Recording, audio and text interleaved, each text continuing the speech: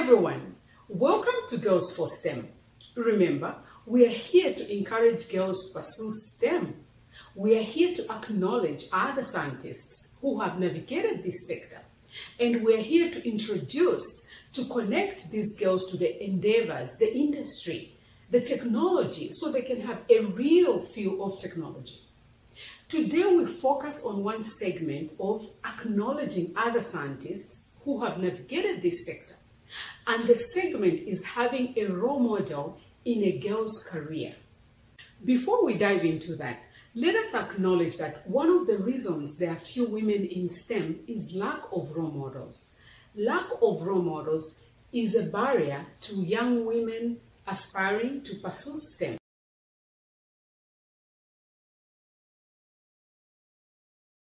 According to studies, women are more likely to perform well in STEM, stay in STEM, or pursue a career in STEM if they see examples of successful women in the field who looks like them. This is true for people of color. A role model.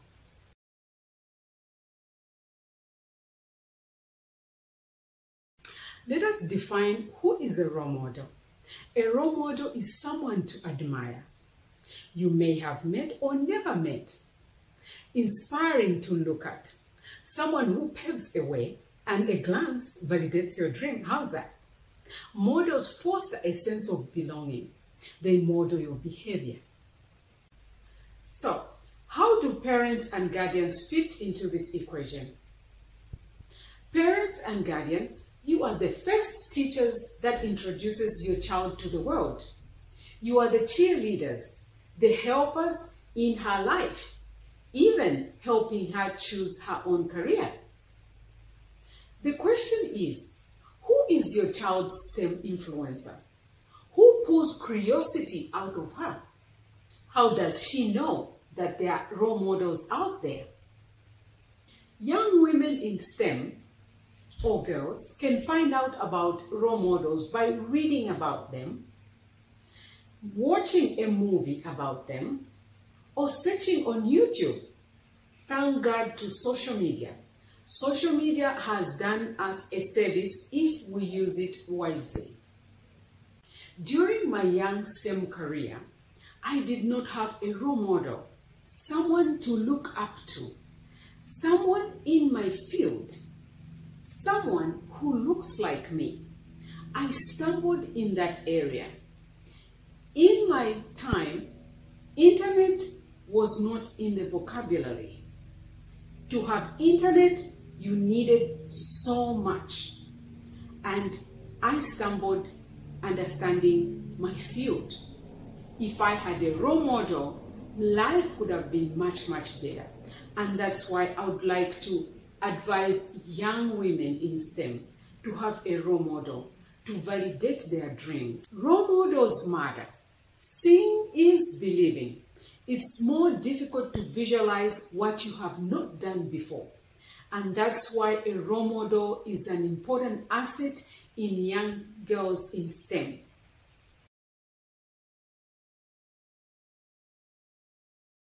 Would you love to live in space?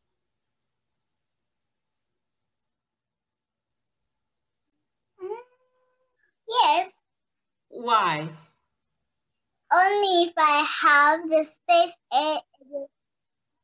because in space it's awesome. You can see the stars very close. Yes. And you can take pictures of everything and you'll be standing on the moon and it's nice. Wow, I'm so happy you love to be in space. So how do you think people go to space? How do they go to space? By a rocket ship. Wow, what is a rocket?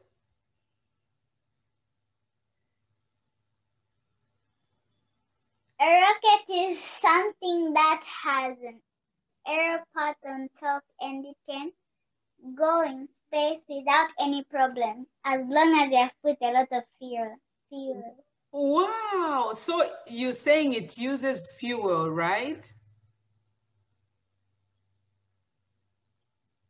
Mm-hmm. Wow, that's so nice. So how far is do you let's go back again. So how far is United States from Africa? Very far. Like Very far. like how far? A, a thousand kilometers or ten thousand? that's you're very, very very smart. So how that's really true. So how far how how do you how do you know people go from uh, Africa to United States? How do they get there? By plane? Okay. So do you know how the plane flies? How does the plane fly? A plane flies because it wing the wings Uh-huh. they have flat things this side that make air come here and it spins around Yes. so it can fly smoothly. Wow, that's very nice because the flaps control the air motion and also it, it helps the plane to be able to direct if it wants to go this way or if it wants to go to the other side. That's really, really correct. You are very smart. So did you know that um and yes, did you know that an aeroplane or even a jet uses fuel, right? To go to to fly from one place to another, right? So do you know where the fuel comes from? From they bring it from they put it in a tank, then they push the tank on a truck, then they take it to the airfield or there where they are their jets and they put it in the in the airplane or the jet. And then Uh-huh. when it's filled up, they close it, then the plane is free to go. Wow, that's really, really nice. So do you also know that the nowadays they want to change instead of pu- putting fuel in the plane, it won't be using fuel anymore. Have you heard about that? What is it going, what do you think it's going to use? Mhm. What is it going to use instead of fuel? They want to be using a charger for for a plane. Yes. Yeah, you can say like a yeah, that's called electrical electrical, you know, charging because it's going to use electrical Mm. Yes, mm-hmm. instead electricity instead of gas. That's really smart. You are very very smart. You're really doing good. So that was very interesting talking to you. I really love to talk some more. So tell me, how was our discussion? What did you enjoy about my discussion with you? It was nice. It was amazing. I liked it.